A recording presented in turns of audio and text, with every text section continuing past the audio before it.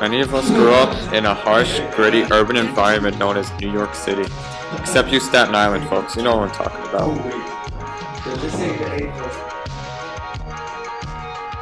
We live in an environment filled with noise, pollution, and superficial technology.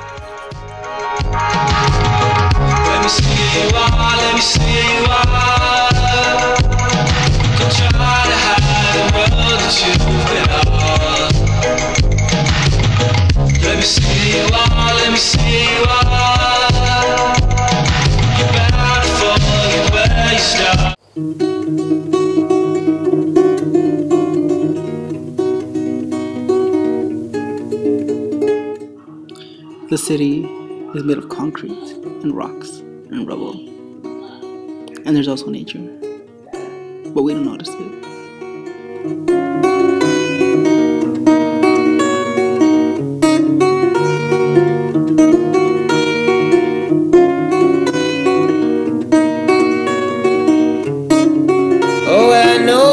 Know you struck the setup, baby, of all the leaves up in the ground. If you look hard enough, you can find nature growing and flourishing all over New York City.